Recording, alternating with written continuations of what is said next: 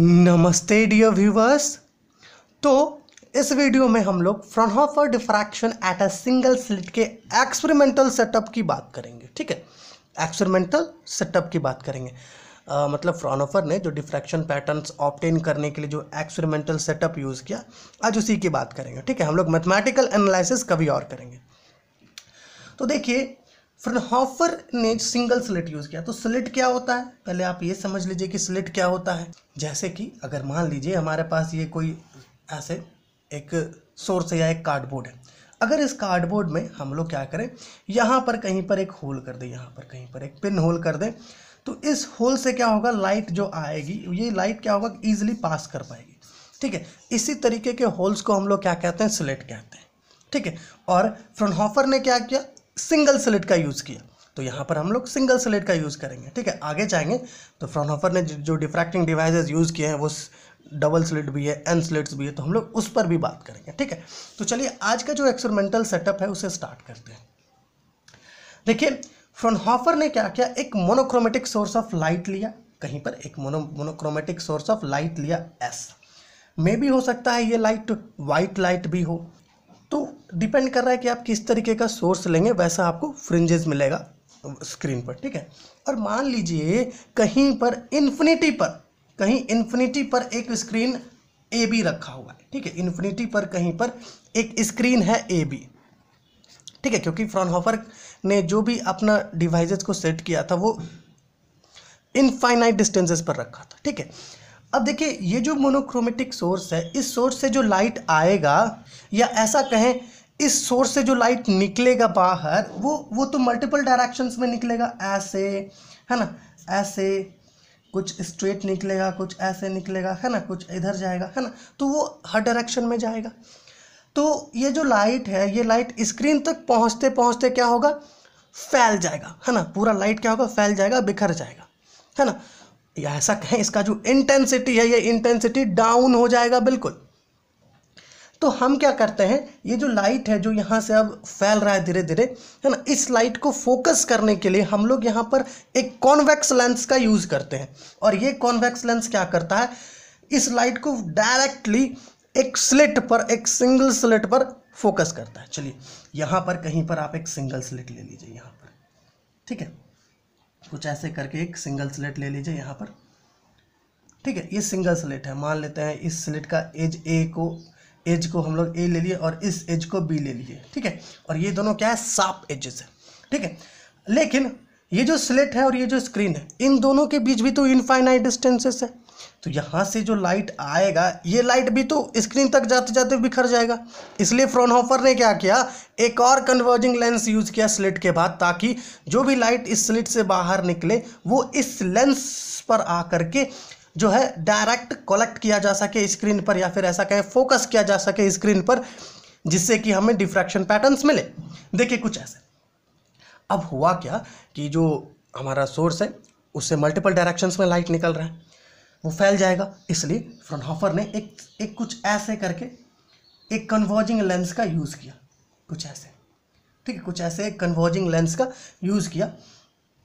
और जब ये लाइट ठीक है, इस कन्वर्जिंग लेंस पर फॉल करती है, कुछ ऐसे करके, कुछ ऐसे कन्वर्जिंग लेंस पर जब ये लाइट फॉल करती है तो होता क्या है कि कुछ लाइट तो स्ट्रेटली ऐसे पास हो जाती है। है ना? स्ट्रेटली कुछ लाइट इस तरीके से पास हो जाएगी स्ट्रेट एकदम। ठीक है?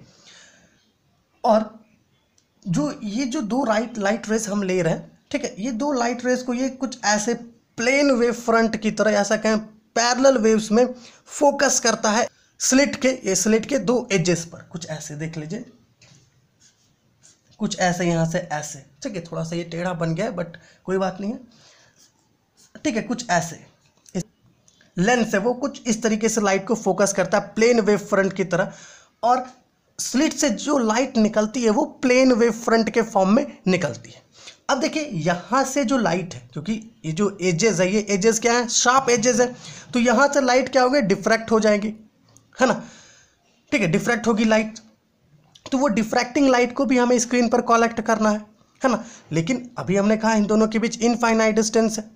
तो यहाँ से लाइट को कलेक्ट करने के लिए फ्रनहाफर ने एक और लेंस का यूज़ किया, एक और कन्वर्जिंग लेंस का यूज़ किया, कुछ ऐसे, देख लीजिए, कुछ ऐसे, एक और कन्वर्जिंग लेंस का उन्होंने यूज़ किया। ठीक है, अब देखिए, यहाँ से जो लाइट आ रही है, ये दोनों जो लाइट है, ये दोनों क्या होगा, कहीं स्क्रीन पर जा करके एक पॉइंट ओ पर मिलता है, ये दोनों रेस ठीक है, कुछ ऐसे। ठीक है, कुछ ऐसे मिलता है स्क्रीन पर जा करके। ठीक है, अब देखिए ये जो पॉइंट ओ है, ये जो पॉइंट है ओ जहाँ पर ये जो दो रेज मिल रही हैं, ये दो रेज जो है, यहाँ पर हमें सेंट्रल मैक्सिमा देगी। ये सेंट्रल मैक्सिमा इसलिए देगी क्योंकि यहाँ से जो भी लाइट आ रही है, ये दोनों लाइट रेज के बीच में किसी भी तरह का कोई फ़ेज़ डिफरेंस नहीं होता है। ठीक है? इस, है ना? पाथ डिफरेंस भी ज़ीरो होता है। अगर हम लोग ये जो स्लिट का एजेस है ए और बी, ये दोनों एजेस से पॉइंट ओ का डिस्टेंस निकाले तो दोनों का डिस्टेंस सेम आएगा। मतलब पाथ डिफरेंस ज़ीरो है। और हमने ये पढ़ा है, अगर पाथ डिफरेंस ज़ीरो होता है कहीं पर भी तो वहाँ पर हमें सेंट्रल मैक्सिमम मिलता है। ठीक है? अब देखिए, ये दो एजेस क्या है? ए और बी, शार्प एजेस है। मतलब यहाँ से लाइट क्या होगा? डिफ्रैक्ट होगा। देखिए कुछ ऐसे। मान लेते हैं, यहाँ से जो लाइट है वो एक एंगल थीटा पर डिफ्रैक्ट कर जाती है, ठीक है? ये जो एंगल है, ये वाला, ये एंगल चलिए थीटा एंगल है, ठीक है? यहाँ से जो लाइट है वो थीटा एंगल डिफ्रैक्ट कर जा रही है।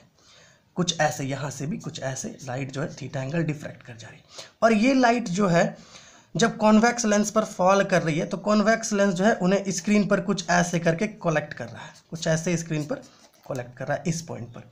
चलिए मान लेते हैं ये पॉइंट है पी है ना, जहाँ पर हमें कुछ पैटर्न मिलेगा डिफ्रैक्शन पैटर्न अब देखिए, यहाँ पर हमने थीटा एंगल लिया है। सॉरी ये एंगल भी थीटा है, ठीक है? ये वाला एंगल ये भी थीटा है। ठीक है? अब देखिए, ये जो एंगल से ये एंगल थीटा है, समझ में आ रहा है? होता क्या है, यहाँ पर ढेरों एंगल्स होते हैं। Theta one theta two theta three theta four है ना? लेकिन हमने सिर्फ़ थीटा एंगल यहाँ पर लिया है। अब ये जो हमारा लेंस है, इसे आप L1 ले लीजिए, इसे L2 ले लीजिए, ठीक है? ये हम लोग बिल्कुल सेम सेटअप का यूज़ करेंगे अपने मैथमेटिकल एनालिसिस में, ठीक है?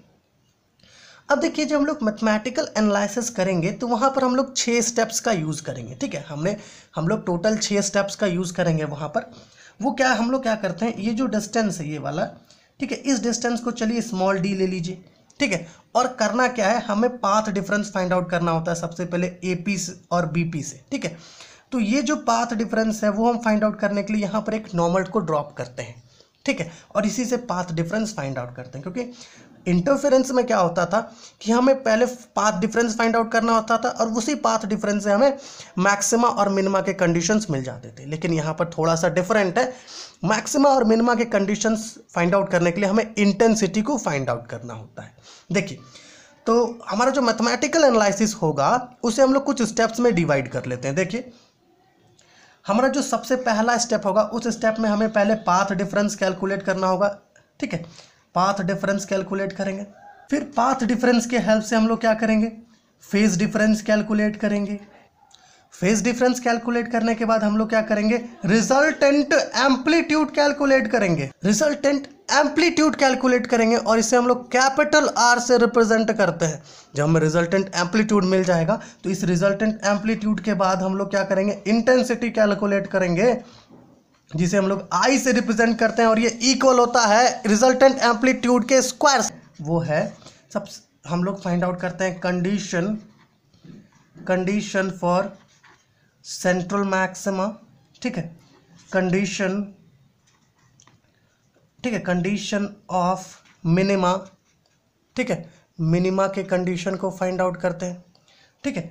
उसके बाद हम लोग फाइंड आउट करते हैं, जो नंबर सेवन होता है नंबर सेवन में हम लोग फाइंड आउट करते हैं कंडीशन फॉर या फिर कंडीशन ऑफ़ सेकेंडरी मैक्सिमा हम लोग सेकेंडरी मैक्सिमा का कंडीशन फाइंड आउट करेंगे। सेकेंडरी इसे ऊपर कर लेते हैं थोड़ा सा सेकेंडरी मैक्सिमा ठीक है? तो हमारा जो आने वाला वीडियो है, उसमें हम लोग Fraunhofer diffraction at a single slit के मैथमेटिकल एनालिसिस को करेंगे, जहाँ पर हम लोग इन सातों स्टेप्स का यूज़ करेंगे, ठीक है?